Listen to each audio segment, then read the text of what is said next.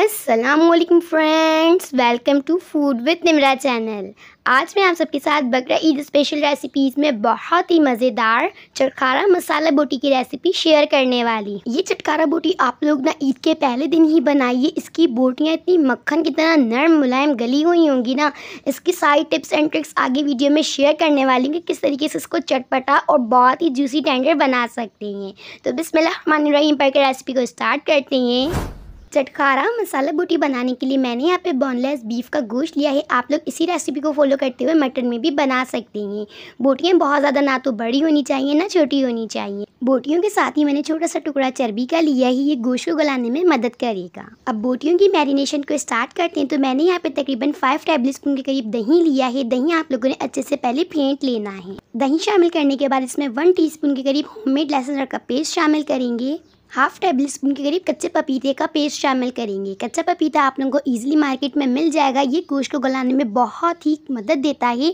तो आप लोगों ने ये लाजमी ऐड करना है। कच्चे पपीते का पेस्ट ना हो तो फिर आप लोग कच्चे पपीते का पाउडर भी यूज़ कर सकते हैं। चटखारा बोटी को मसालेदार बनाने के लिए मैं यहाँ पे वन टेबल स्पून करीब तिक्का मसाला ऐड कर रही हूँ। किसी भी अच्छे ब्रांड कंपनी का आप लोग तिक्का मसाला इसमें यूज़ कर सकते हैं। बस आप लोगों ने वन टेबल स्पून के करीब इसमें शामिल कर देना है। और साथ ही इसमें बहुत ही कम से स्पाइसेस जाएँगे तो वो भी नोट डाउन कर लीजिए। वन फोर टी स्पून लाल मिर्च का पाउडर शामिल करेंगे। वन फोर टी स्पून आप लोगों ने हल्दी पाउडर शामिल करना है। वन फोर टी स्पून सूखा धनिया को कूट के शामिल करेंगे। और इसमें वन फोर टी स्पून से कम थोड़ा सा नमक शामिल करेंगे। नमक टिक्का मसाला में भी होता है, इसलिए आप लोगों ने अपने हिसाब से ही ऐड करना है। बस ये तमाम चीज़ें शामिल करने के बाद आप लोगों ने अच्छे से इसको मिक्स कर लेना है। बहुत ही कम से चीज़ें जाती हैं, लेकिन ये बहुत ही चटपटी, चटखारा, मसालेदार बूटी बनती है। ज़रूर इस तरीके से आप लोगों ने रेसिपी को ट्राई करना है। तमाम चीज़ें मिक्स करने के बाद अब इसको मैरिनेशन का हम लोगों ने तकरीबन तीन से चार घंटे का टाइम देना है, ताकि बूटियों के अंदर मसाला जो हमारा अच्छे से रच जाए। तो अब मैं इसको फ्रिज में रख दूँगी तकरीबन तीन से चार घंटे के लिए। आप लोग चाहें तो इसको ओवरनाइट के लिए भी मैरिनेट कर सकते हैं।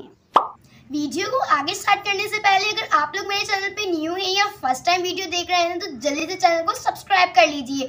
और साथ ही बेल आइकन को प्रेस करना बिल्कुल भी मत भूलिएगा, ताकि आप लोगों को मज़ेदार और न्यू न्यू रेसिपीज़ की नोटिफिकेशन मिलती रहे। और आप लोग मुझे इंस्टाग्राम पे फ़ूड विद निमरा के नेम से फॉलो कर सकते हैं, वहाँ पे भी पिक्चर वीडियोज़ टैग कर सकते हैं। इंस्टाग्राम पर मैं एक्टिव हूँ तो आप लोग वहाँ पर मुझे फॉलो कर सकते हैं। और आप लोगों ने मेरे चैनल को अपने फ्रेंड्स और फैमिली के व्हाट्सएप ग्रुप में जल्दी जल्दी से शेयर करना है ताकि वो लोग भी मुझे जल्दी से सब्सक्राइब कर लें। और आप लोगों ने वीडियो को लाइक कर देना है। अब अपनी वीडियो को कंटिन्यू करते हैं। तो अब मैं आप सबके साथ चार से पाँच घंटे बाद का रिज़ल्ट शेयर कर रही हूँ। ज़बरदस्त सा बोटियों में मसाला रच चुका है। अब आप लोगों ने इसको पैन में निकाल लेना है, क्योंकि अब हम लोगों ने इसको कुक करना है और गलाना है। तो बस इसमें हम लोगों ने थोड़ा सा पानी शामिल कर देना है। बॉल में जितना भी मसाला लगा हुआ था, उसका हम लोगों ने कंगाल इसमें शामिल करना है। पानी आप लोगों ने थोड़ा सा ही शामिल करना है, क्योंकि हम लोगों ने इसमें दही शामिल किया हुआ है तो दही भी अभी अपना पानी छोड़ेगा। तो आप लोगों ने इसकी मीडियम फ्लेम कर देनी है, उसको पाँच मिनट के लिए आप लोगों ने कवर करना है। और जब पाँच मिनट बाद आप लोग इसका कवर हटाएँगे तो आप लोग चेक कर सकते हैं कि इसके अंदर अच्छा खासा पानी आ चुका है। तो अब इस गोश्त को हम लोगों ने अब अच्छे से पका लेना है, गलाना है तो दोबारा से हम लोग इसको कवर कर देंगे और इसकी फ्लेम आप लोगों ने स्लो कर देनी है। पैन में इसको तकरीबन पचास से साठ मिनट लगेंगे गलने में, लेकिन अगर आप यही काम प्रेशर कुकर में करते हैं तो फिर आपको पंद्रह से बीस मिनट लगेंगे और गोश्त अच्छे से गल जाएगा। पैन में थोड़ा ज़्यादा टाइम ही लगता है गोश्त को गलने में। तो मैं आप सबके साथ अब एक घंटे बाद रिज़ल्ट शेयर कर रही हूँ। ज़बरदस्त सा गोश्त हमारा यहाँ पे गल चुका है, मसाला इसका रेडी हो चुका है। जितना भी इसमें एक्स्ट्रा पानी है, वो भी तमाम सूख चुका है। अगर आपको गोश्त गलने में टाइम लगे, इसका पानी सूख जाए तो थोड़ा सा पानी ऐड करके भी इसको अच्छे से गला लीजिएगा।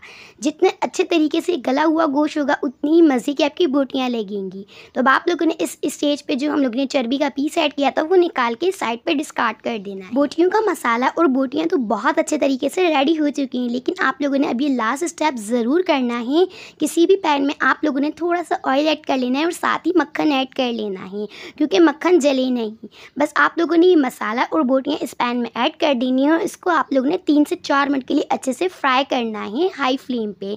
जब ये फ्राई होगा ना, बोटियों पे तमाम मसाला इसके ऊपर चिपक जाएगा और ये इतनी चटखारेदार मसालेदार लगेंगी ना कि बस ये स्टेप करने से बोटियों पे मसाला अच्छे तरीके से चिपक जाएगा और ये बहुत ही मज़े की बनेंगी। बस हम लोग ने थोड़ा सा ना इसमें लेमन जूस भी ऐड कर लेना ताकि चटपटी चटपटी बने।